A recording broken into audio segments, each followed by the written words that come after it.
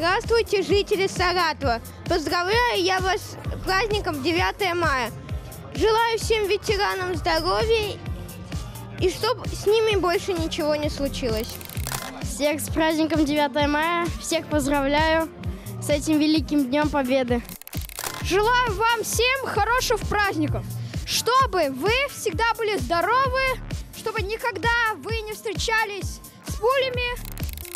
Уважаемые ветераны, земляки, саратовцы и все россияне, я от всей души поздравляю вас всех с этой замечательной датой, 73-й годовщиной Победы над Германией.